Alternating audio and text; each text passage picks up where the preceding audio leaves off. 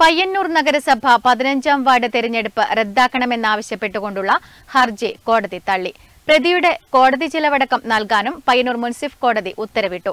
ഇടതുപക്ഷ സ്ഥാനാർത്ഥിയായ I N എല്ലിലെ ഇക്ബാൽ പോപ്പുലറിന്റെ തിരഞ്ഞെടുപ്പ് വിജയം അസാധുവാക്കണമെന്നാവശ്യപ്പെട്ടായിരുന്നു എതിർ സ്ഥാനാർത്ഥിയുടെ ഹർജി.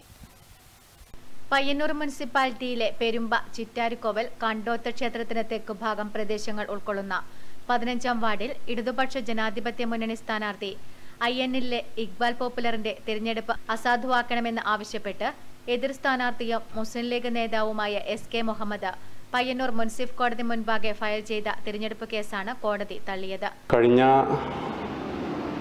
മുനിസിപ്പൽ ഇലക്ഷനിൽ ചിറ്റാരിക്കോൽ വാർഡിൽ എട്ട് വോട്ടുകൾക്കാണ് ഞാൻ അവിടെ വിജയിച്ചത്. ചിറ്റാരിക്കോലിനെ സംബന്ധിച്ചിടത്തോളം യു ഡി എഫിന് മൃഗീയ ഭൂരിപക്ഷമുള്ള ഒരു സ്ഥലമാണ് പ്രത്യേകിച്ച് മുസ്ലിം ലീഗിന്റെ മണ്ഡലം ജില്ലാ നേതാക്കന്മാരുള്ള ഒരു വാർഡായിരുന്നു പതിനഞ്ചാം വാർഡായ ചിറ്റാരിക്കോവൽ.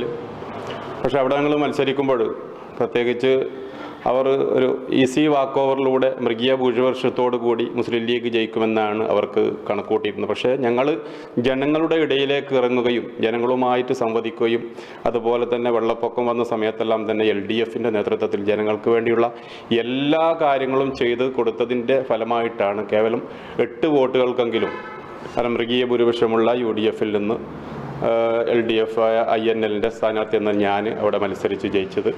അപ്പോൾ അതിനുശേഷം കള്ളപ്രചരണങ്ങളെല്ലാം തന്നെ അവർ നടത്തുകയുണ്ടായി. അങ്ങനെയാണ് അവർ കേസ് കൊടുത്തത്. ഇപ്പോൾ ബഹുമാനപ്പെട്ട മുൻസിഫ് കോടതിയും അത് തള്ളിക്കൊണ്ട് ഉത്തരവായിട്ടുണ്ട്. എൽ ഡി എഫ് സ്ഥാനാർത്ഥിക്ക് വേണ്ടി അഡ്വക്കേറ്റ് ടി വി വിനീഷ് ഹാജരായി. Network news Payyanur.